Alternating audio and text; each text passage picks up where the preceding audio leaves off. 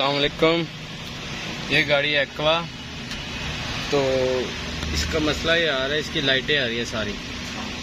ABS की आ रही है ट्रैक्शन की ये सारा आ रही है लाइटें। ये गाड़ी कह रहा है सारी खुली थी, उसके बाद दोबारा फिट हुई है, उसके बाद ये लाइटें आ रही है। अब इसको चेक करते हैं। सबसे पहले लगाते स्कैनर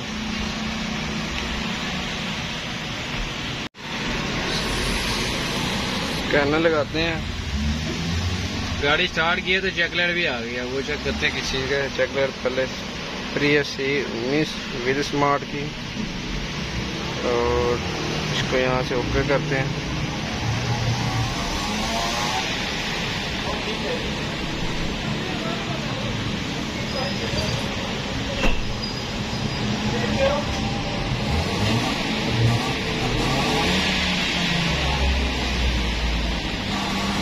System selection. सबसे पहले इंजन का कोड चेक करते हैं, इंजन में क्या आ रहा है।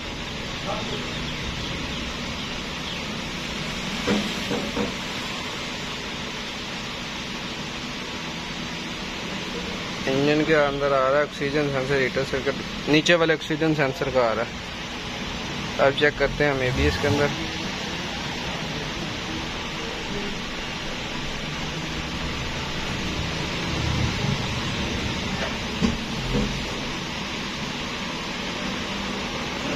मास्टर सिविल है stroke sensor loads communication steering angle ये तीन कोड आ रहे हैं हम। अब इनको चेक करते हैं क्या मसला है। Data stream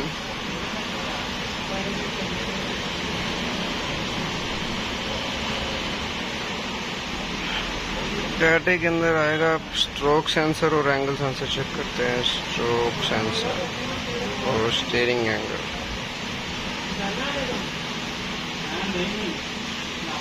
steering angle sensor zero zero error है। स्ट्रोक सेंसर भी एरर है। तो ब्रेक दबा रहा हूँ ब्रेक से भी चल ही रहा है। स्ट्रोक सेंसर का एरर आ रहा है। और ये वोल्ट भी नहीं खड़े हो रहे। अब इनको चेक करते हैं क्या सेंसर खराब है, क्या मैं जो गाड़ी का पुराना सेंसर निकाला है, वो अंदर से चेक कर लो आप कैसे। ऑक्सीजन सेंसर का जिसका कोड आ रहा था सेंसर दे लो। ये अंदर ही टूटा हुआ है पहले ही। अब इसका नया लगाने लगे हैं, ये सेंसर मंगवाया। अब इसको लगाते हैं अंदर। गाड़ी को लगाया स्कैनर अब दोबारा। कोड आ रहा है हमारा मास्टर सिलेंडर प्रेशर सेंसर का। अब इसको करते हैं क्लियर कोड क्लियर नहीं हो रहा।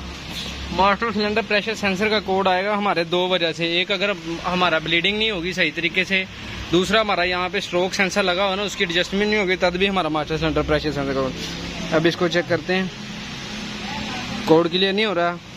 हम डाटा सीम में जाते हैं स्ट्रोक सेंसर का रीडिंग चेक करते हैं।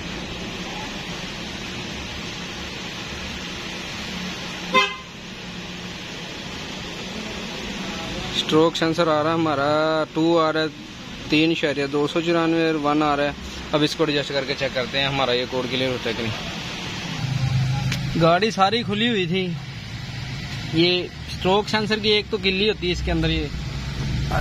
ये वाली किल्ली है ना, ये वाली किल्ली। अगर इसके अंदर ये प्रॉपर बैठेगी नहीं, तब भी हमारा स्ट्रोक ये मास्टर सिलेंडर प्रेशर सेंसर का ही कोड आएगा।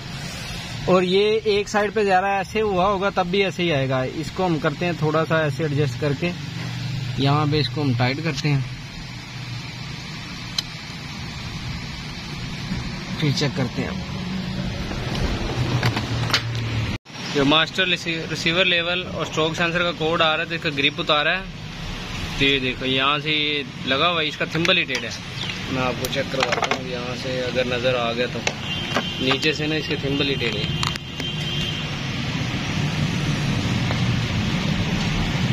नज़र नहीं आ रहे, अब ए एबीएस खोलते हैं तो फिर आपको चेक करूँ। एबीएस निकाल लिया बाहर। ये देखो नंबर एक ये है, ये तो टूट ही गया है, एक ये वाला सिंबल है। इसको सीधा कर लेते हैं इसको तार टांका लगा के बाहर निकालना पड़ेगा ये। एंगल सेंसर ये एक्वा है, एंगल सेंसर एक्वा को भी हम पंद्रह सौ प्रियस वाला ही लगाएँगे। चूँकि ये जल्दी खराब नहीं होते, इसलिए ये वाला लगा रहे हैं हम। केबल भी आ गई हुई है, और एंगल सेंसर भी।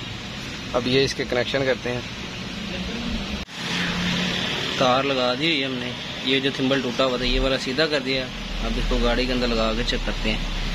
हमारे गोल के लिए रखते कि नहीं? एबीएस फिट कर दिया हुआ है तार ही अंदर से जो निकाली थी हमने, ये यहाँ पे जोड़ लगा दी। ये वाली तार बनती थी इसकी। ब्रेक लगा दिया स्विच अब चेक करते हैं गाड़ी। का स्विच ऑन किया गाड़ी का। लगाते हैं हम स्कैनर कोड चेक करते हैं। प्री एस सी उन्नी model with smart key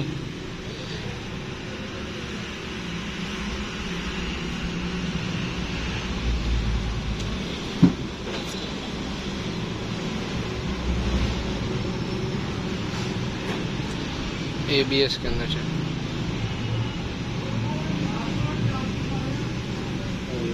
no trouble code no trouble code है। अब डाटे के अंदर चेक करते हैं।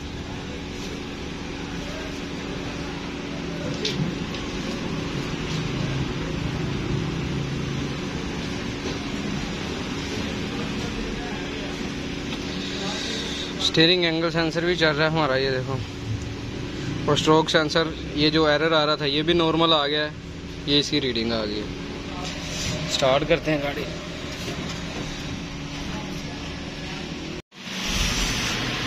ग्रिप लगा दिया हुआ है।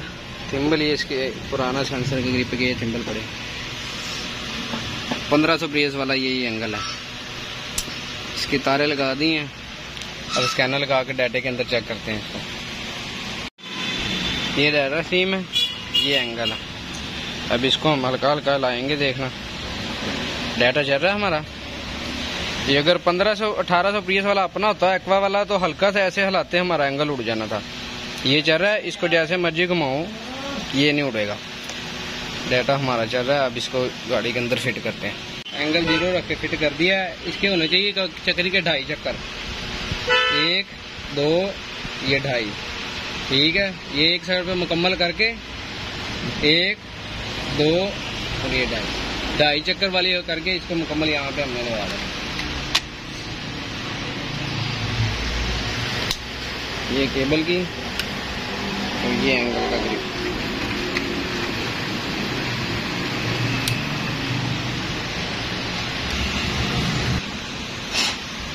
एंगल हमने फिट कर दिया हुआ।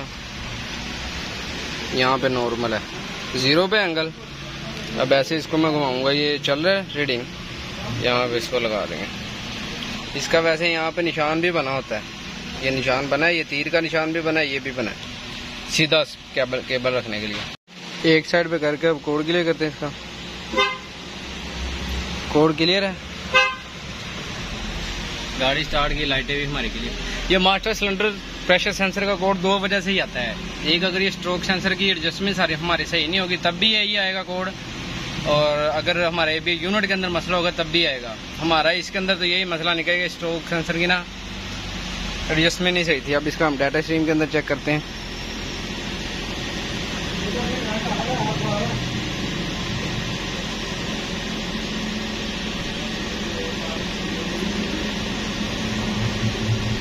स्ट्रोक सेंसर वन हमारा आ रहा है ज़ीरो शरिया कुछ। यहाँ पे पहले एक शरिया कुछ आ रहा था, नीचे वाला आ रहा था, तीन शरिया कुछ। ये ऊपर भी नॉर्मल है। ये ब्रेक दबा रहा हूँ। लाइटें हमारी क्लियर है ये अल्हम्दुलिल्लाह गाड़ी हमारी क्लियर है गाड़ी की टेस्ट ड्राइव कर रहे हैं। गाड़ी की हमारी सारी लाइटें क्लियर है एक इसका एंगल खराब था। स्पैरल केबल खराब थी और जो स्ट्रोक सेंसर और मास्टर रिसीवर लेवल का कोड था, वो ए बी एस के अंदर थिम्बल ही टूटे हुए थे। उसके हमने बाहर तारे निकाल के लगा दिए। अलहमदिल्ला गाड़ी क्लियर है हमारी।